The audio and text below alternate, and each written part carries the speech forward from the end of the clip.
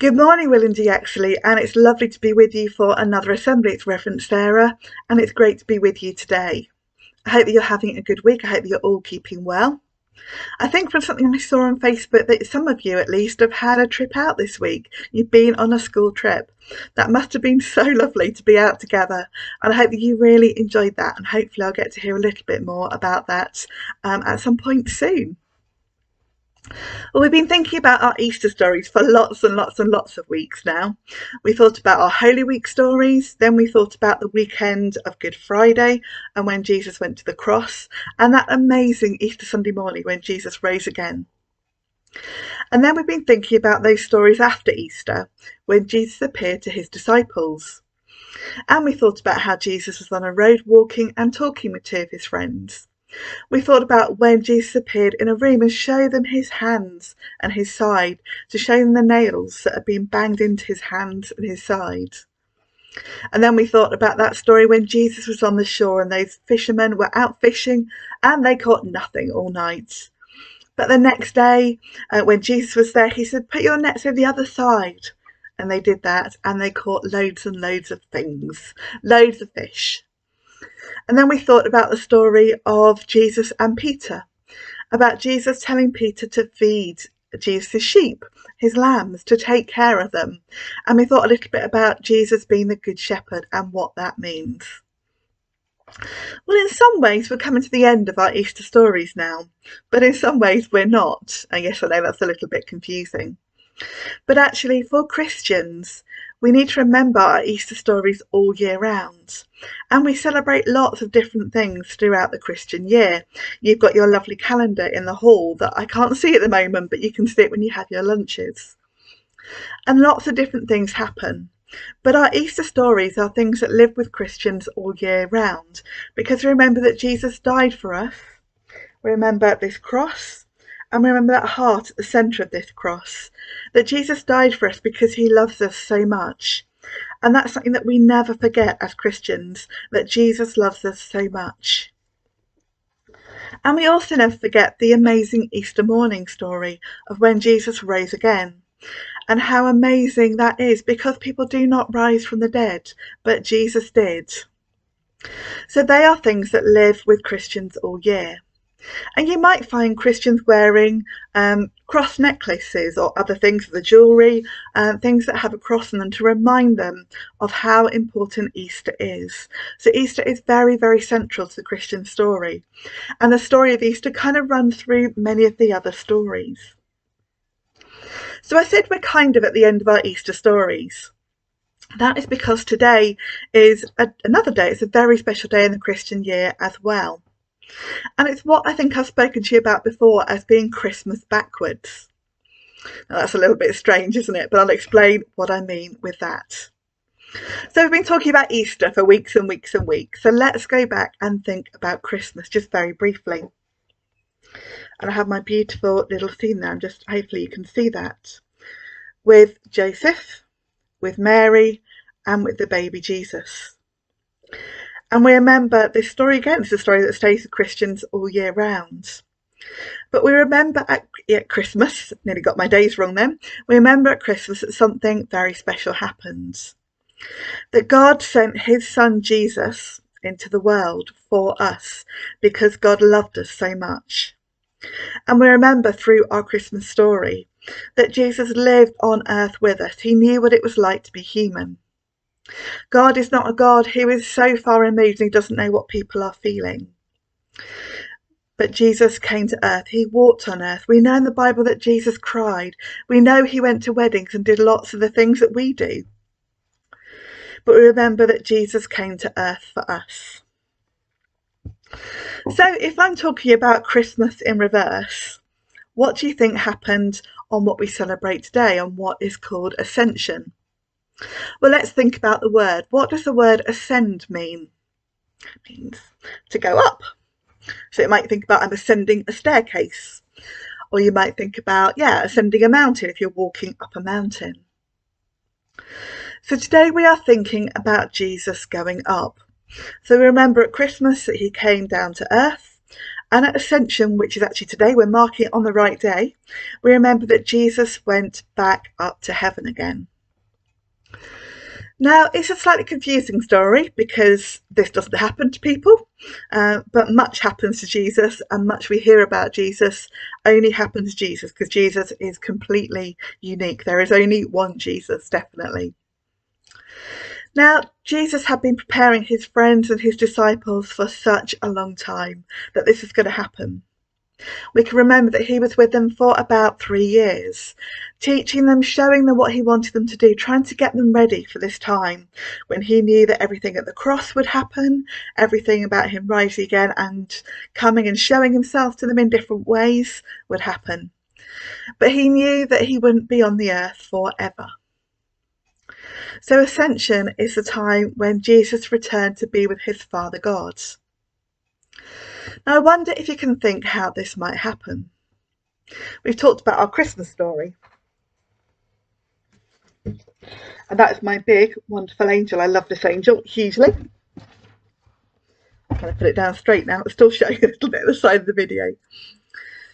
But let's think, so that in our Christmas story we have angels, don't we? The angel appears to Mary and to Joseph and to the shepherds and there's an angel singing, Glory to God in the highest, a heavenly host of angels, lots and lots and lots of angels. We also know that when those first disciples and friends went to Jesus' tomb on that first Easter morning, that there were angels there. Jesus wasn't there initially, but there were angels there. And in our story today, there are angels as well. So Jesus had come back and had been with his disciples for a short time, for a period of weeks. It wasn't months or years, it was a period of a few weeks. And he'd come back and shown them that yes, he was risen. He showed them his hands again. And he did lots of miracles again, like those fish, those amazing fish. And he got his disciples ready for what was going to happen when he spoke to Peter about feeding his sheep, looking after his people. And so Jesus was preparing his first disciples to carry on the work that he had done when he had been alive. And so the time comes and they go to a mountain together. And the Bible tells that Jesus was literally lifted up. We might think about people who levitate who are a little bit off the ground, but Jesus was literally lifted up and he went into the clouds. That is what the Bible tells us. And the disciples were below watching all of this. I wonder what they were thinking again. My goodness, they have seen so much and been part of so much. What do you think they were thinking today? Um, they must have been so confused, I think. But what we know in this story is that there were angels there. There were two angels there.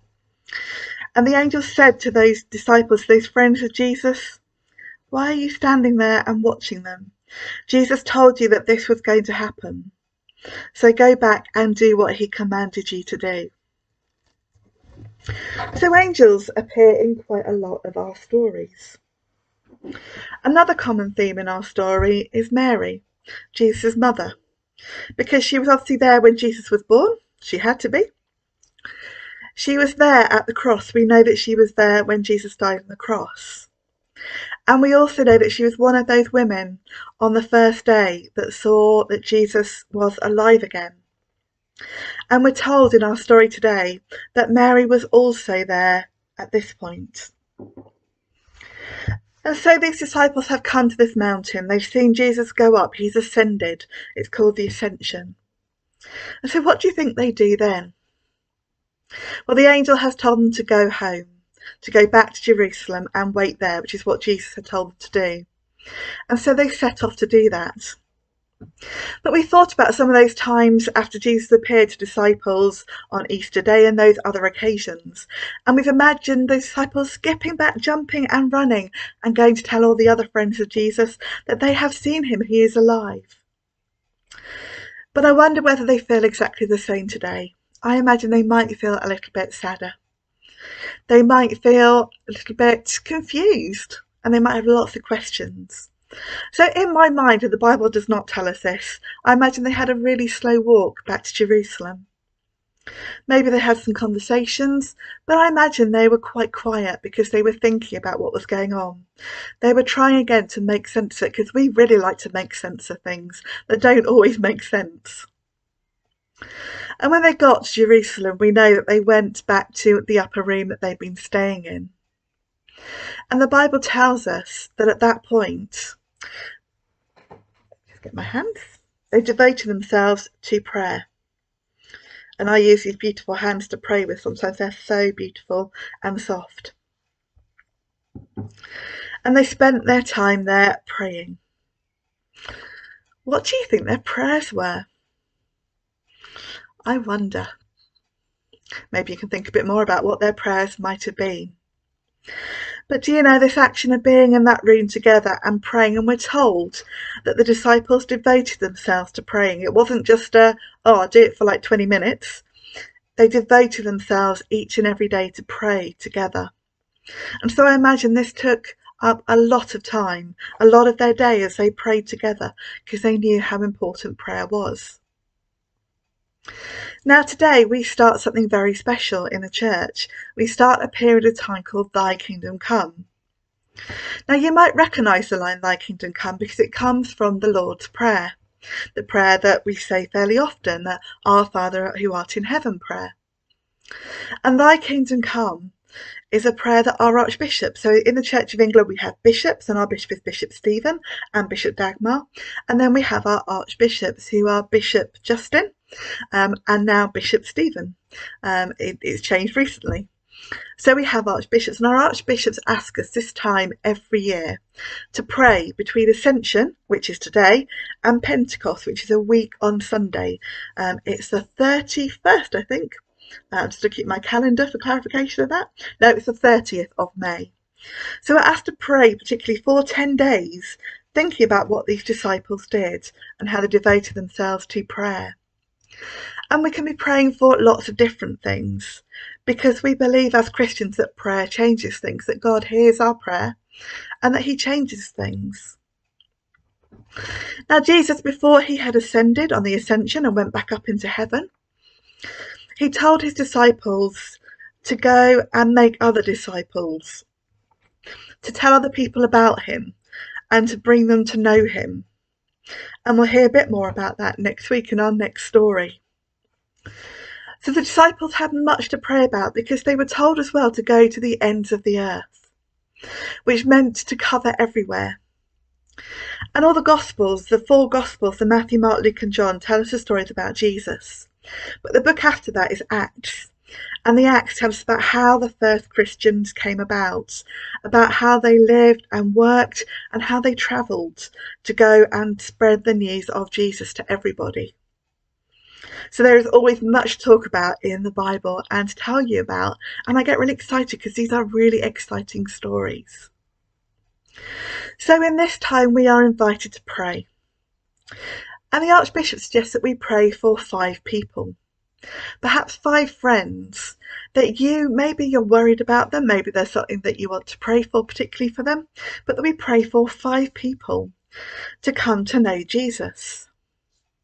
Because that's one of the best prayers we can pray, because Jesus does amazing things. But you might also want to pray for things going on around the world. We hear a lot in our news about India sometimes in our news we don't hear stories of places where things are happening because that's kind of old news. The newspapers have moved on to something that's a bigger story at the time. So maybe we want to pray for a place that's not in the news headlines at the moment. Maybe you've got a particular person or situation you want to pray for. Maybe you want to pray for your school. So let's think about praying together in this time, this time of Thy Kingdom Come. So we're going to have a time of quiet reflection. I'm not going to pray out loud today. I'm going to let you pray those prayers for yourself in your head. And they can be about anything. They don't need to be fancy language. Just pray for something that you feel really strongly about today. And just ask God to help you with that or to help that person. And then at the end, I'm going to say the Lord's Prayer. And you can join in with that if you would if you would like to. So let's take a few moments of reflection and then you can pray when you want. And then I will finish with the Lord's Prayer.